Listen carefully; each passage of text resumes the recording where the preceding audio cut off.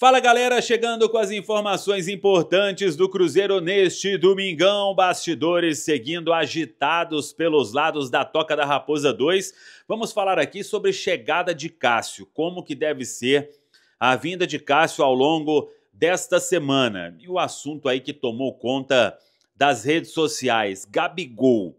Existe alguma coisa mesmo de Gabigol no Cruzeiro? É um atacante que está vivendo um momento complicado no Flamengo. A retomada dos trabalhos nesta segunda-feira na Toca. Tudo isso você confere a partir de agora aqui no canal.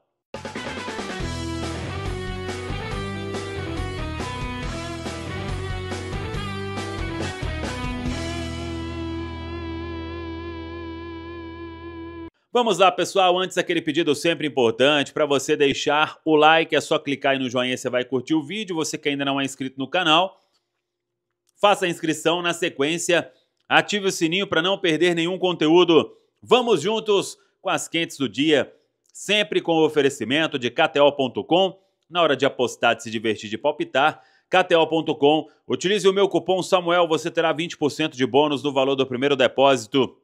KTO.com, onde a diversão acontece.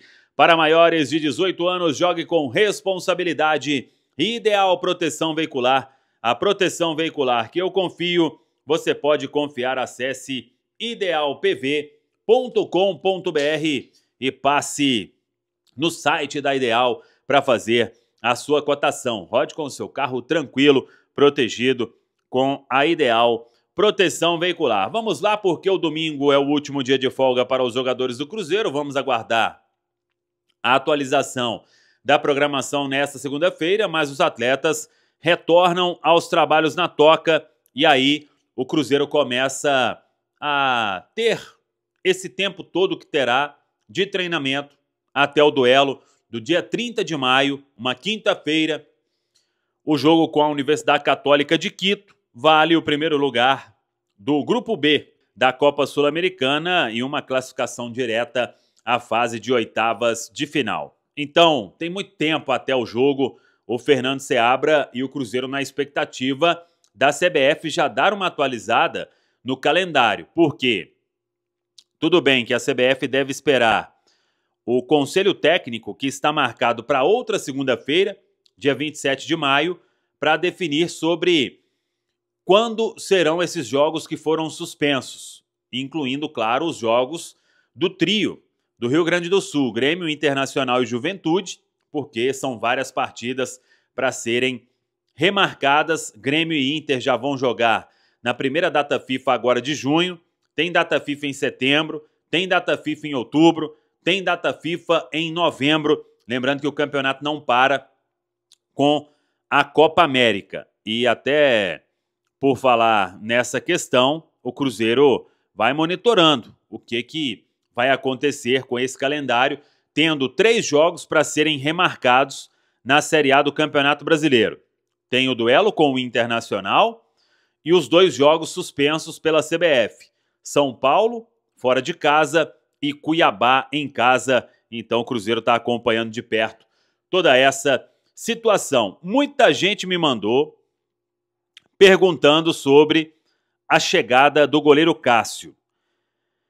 Eu tenho percebido, conversando com algumas pessoas, que o Cássio, ele não vou dizer que ele quer chegar sem muita festa, mais tranquilo, mas é uma tendência de chegar primeiro, mostrar serviço em campo, ele que vai chegar muito motivado para ser o caso que todo mundo conhece aqui no Cruzeiro. Então, até por isso não apareceu qual voo, horário, dia de chegada. Eu sei que essa chegada, pelo que me falaram, é a partir não deve ser nesta segunda, a partir de terça, enfim, ele vai chegar nesta semana. Mas volto a repetir, pelo que tenho acompanhado, a ideia do Cássio vai ser chegar de forma mais discreta, tranquila, ir para a Toca da Raposa 2 sem marcar com recepção de torcedor em aeroporto, enfim. Vamos seguir acompanhando.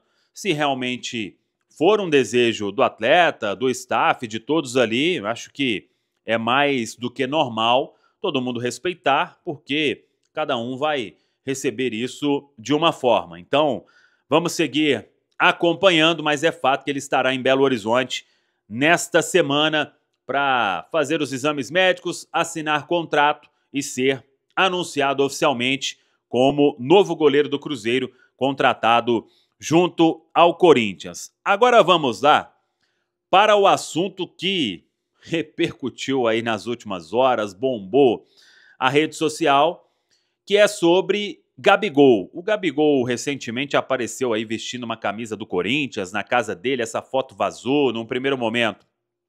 Disseram que era montagem, que era fake news, mas hoje, em entrevista ao André Hernan, do UOL, o Gabigol até pediu desculpas, reconheceu que era a camisa assim, confirmou né, que era uma camisa assim do Corinthians, que estava em casa, uma pessoa estava ali, acabou fazendo uma foto, essa foto viralizou, e hoje ele pediu desculpas, se declarou ao Flamengo, enfim, foi uma entrevista em que o assunto foi apenas essa questão. E nesta entrevista, me chamou a atenção o Gabigol se declarando ao Flamengo, dizendo que quer continuar no Flamengo, quer renovar, teve conversa para renovar, mas isso esfriou.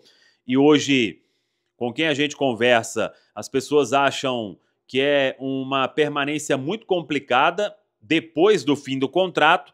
Mas aí o que eu quero dizer, eu até acho que o Gabigol, estando disponível no mercado, qual time não vai se interessar, né? É um jogador que ainda tem muita lenha para queimar, 27 anos apenas, já ganhou muitos títulos no Flamengo, claro. Ele precisa retomar aquele foco porque qualidade todo mundo sabe que ele tem. Então, isso aí dispensa comentário. Acho que todos os clubes ali, os clubes grandes do futebol brasileiro, dispostos a fazerem investimentos maiores, iriam se interessar numa condição dessa. Mas o Cruzeiro, obviamente, não vai confirmar nada. Da parte do Gabigol, também o foco era essa questão de Flamengo, de tentar limpar a barra do Gabigol, que já foi muito ovacionado por todos do Flamengo e hoje vem neste momento aí meio que em pé de briga, né? torcedor, claro, se sentiu traído quando o Gabigol aparece numa foto com a camisa do Corinthians. E olha que no começo do ano se falava muito de uma negociação para ele ir para o Corinthians. Mas enfim, o que que eu busquei nessa história é que hoje realmente o Gabigol ele não pensa em deixar o Flamengo. Claro que isso pode mudar, porque o Flamengo também ainda não se manifestou oficialmente ao staff do Gabigol e ao Gabigol que o contrato se encerra no final do ano e um abraço. Isso, pelo menos a informação que a gente tem, não aconteceu. É uma permanência muito difícil? Claro, até pelos fatos de dos últimos dias. Mas com uma pessoa que eu conversei, essa pessoa disse que o Gabriel, o Gabigol, Gabi, ele vai tentar convencer em campo que ele pode ficar no Flamengo, que ele pode mudar a história dentro de campo e fazer com que todo mundo pense em uma renovação. É um cenário pouco provável? Com certeza. Até porque ele não vem jogando com regularidade, o ano de 2024 dele é muito ruim, o Pedro é titular absoluto. Agora, negociação em andamento com outras equipes, pelo que eu conversei, não tem neste momento, até porque o foco, repito, é tentar a continuidade no Flamengo.